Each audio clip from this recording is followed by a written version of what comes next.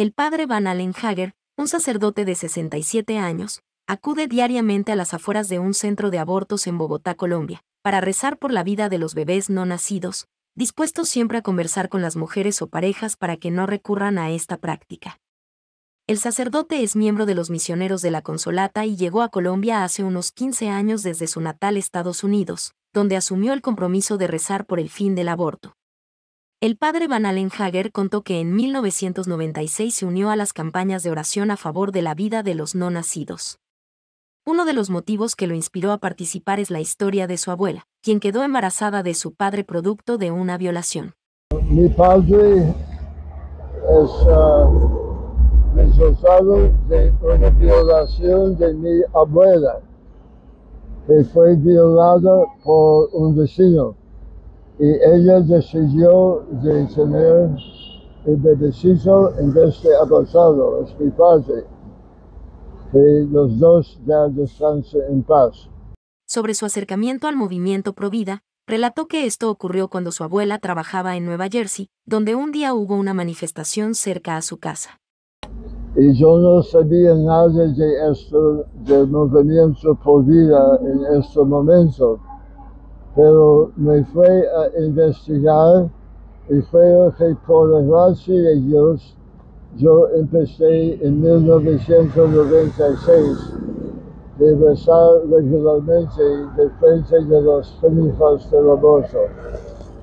Ahora el sacerdote participa de la campaña 40 días por la vida que culminará el 2 de abril, en Domingo de Ramos, y todos los días llega con una silla plegable para sentarse a un lado de la entrada del Centro Oriéntame, uno de los varios establecimientos de aborto que funcionan en el barrio de Teusaquillo, en Bogotá.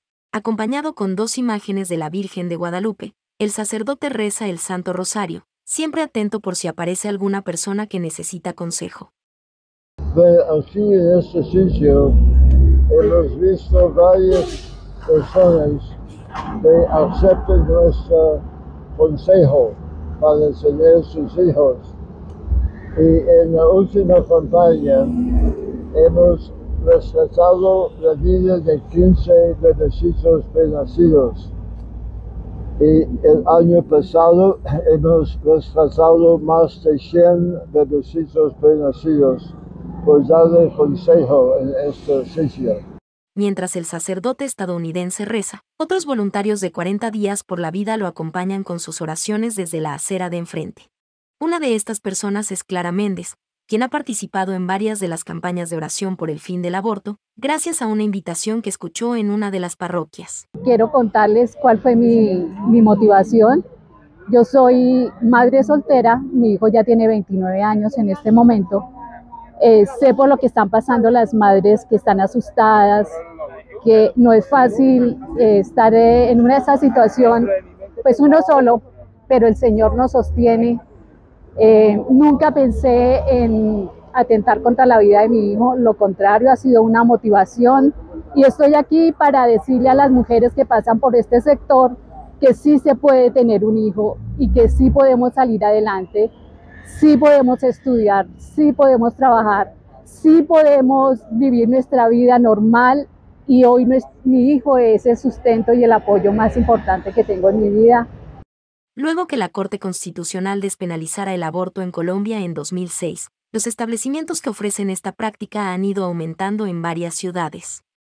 En Bogotá también funciona Profamilia, a cuyas afueras han llegado también los voluntarios de 40 días por la vida. Entre ellas está Denise Lorena Cárdenas, una joven que llegó desde Santander y que es penalista y ha estudiado genética.